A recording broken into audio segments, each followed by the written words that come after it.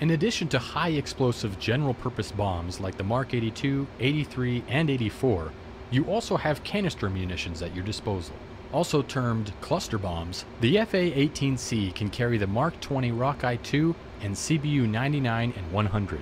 All three munitions carry 247 Mark 118 Mod 1 bomblets. The Mark 118 bomblet contains a shaped charge warhead designed for anti-armor use. As such, these bomblets are good at defeating armor, but have very little proximity damage effect. To be effective, the bomblet must directly hit the target. The three versions of the munition only differ in their canister and fuses. Today, we have 8 Mark 20s loaded and two groups of various armored vehicles to devastate. As should be routine now, set master mode to AG. Select Mark 20s by pressing push button 6. We'll keep the UFC option as is.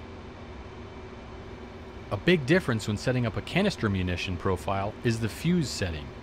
Rather than an impact fuse, we'll need to initiate the fuse when the munition is over the target area so the bomblets can disperse over the desired weapon effect area. We'll do this with the mechanical fuse or M fuse. Press push button 4 to select M fuse. From the M fuse selections, select variable timed or VT on push button 3. When we selected VT as the fuse type, we now have an HT height option on push button 1.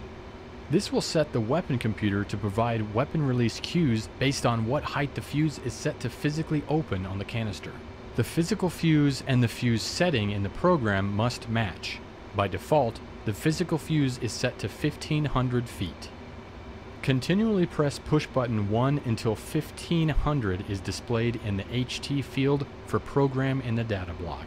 Press spacebar once the HT value is set to 1500. Once that is done, set your HUD to show radar altitude. While canister munitions can be delivered in auto mode, CCIP is recommended for better accuracy. As reviewed in the CCIP bombing lesson, we have a DIL, pull-up cue, and reflected cue on the HUD.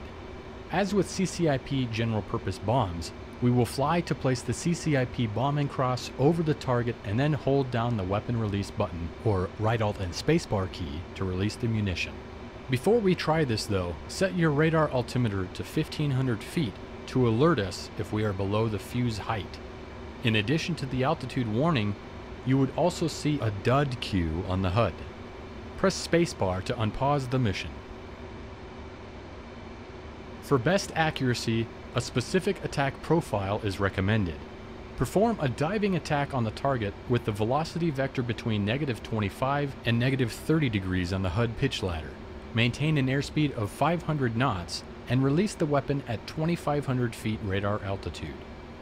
Give it a try against the target group at waypoint 1. It's marked by a gate and red smoke. Line up your velocity vector over the target but at level flight. When the CCIP cross is over the target, press and hold the weapon release button or right alt and spacebar key when at 2500 feet, 500 knots, and a dive angle between 25 and 30 degrees.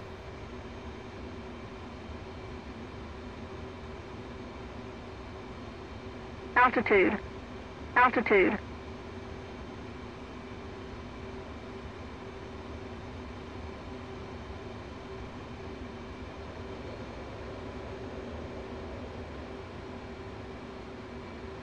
Good hits on those BTRs.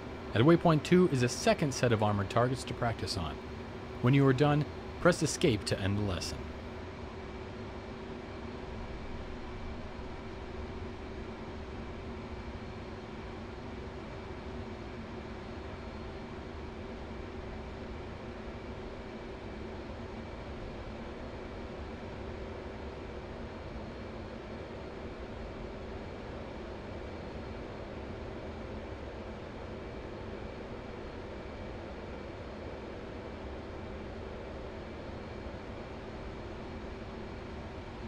Altitude.